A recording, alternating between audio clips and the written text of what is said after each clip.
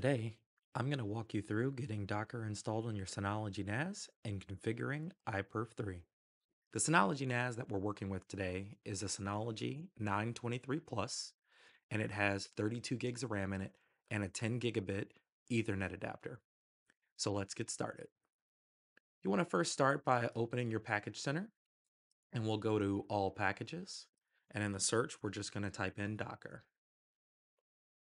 Docker is currently not installed, so we're just going to go ahead and click Install Docker.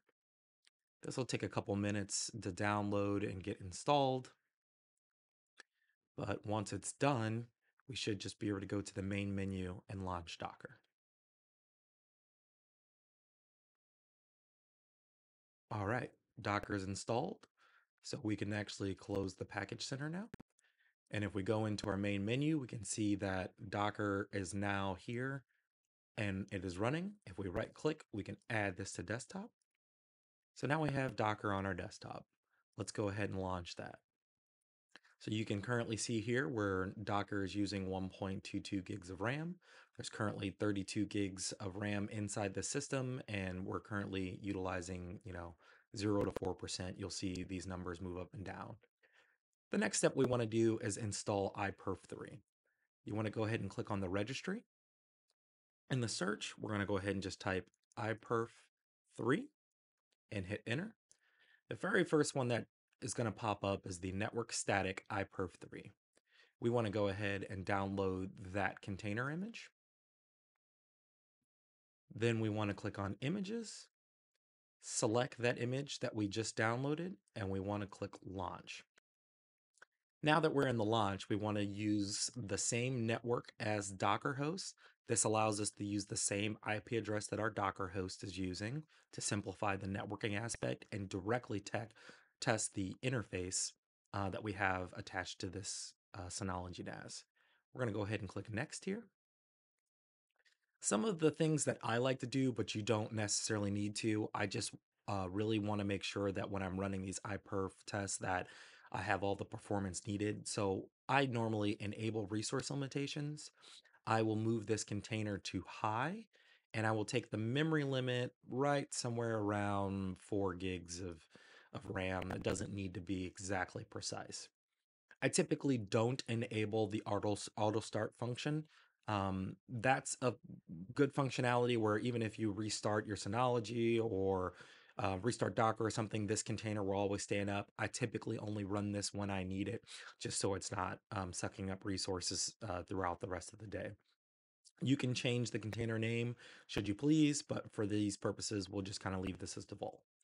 Now we'll need to go into the advanced settings and the execution tab. On this execution tab, we need to add the additional commands. So you can see our entry point is iperf3. This means that at the command line, it's going to execute the iperf3 command. What we want to do is add the switch server so that when this container stands up, it recognizes that it needs to be in the server mode and it needs to start listening for uh, communications to perform iPerf test. So what we want to do is just click save here. And then we're going to go and click next and we're going to click next on the volume settings. We don't need to change anything there. And then we'll leave this check to run this container after the wizard is finished, because then that just basically goes ahead and starts this ever after everything is deployed and ready to go. So we're going to go ahead and click done. Now we should be able to go to our containers tab and we see that we now have our network static iPerf3 container up and running and it's currently um, running as we expect. So we can go ahead and close this and switch over to our command line. All right, now that we're switched over to our command line, we want to execute uh, the command to perform a test uh, of our network interface. So I'm currently on a MacBook Pro that has a 10 gig Ethernet adapter, and I'm connected to a 10 gig uh, switch that also has my Synology 923 Plus connected to it with the 10 gig Ethernet adapter. So the command that we would like to run is just iperf3 darwin. Uh, this is the command that you need to get into iperf on a Macintosh computer. And then we're going to do a dash C that allows us to specify the IP address of the server that we're communicating with, which is in this case our Synology NAS. And then dash I, which is how often I want to set my information interval. So I would put a one there because I want it to report back every one second. And then a dash T is essentially the amount of time that I want this um, this to run.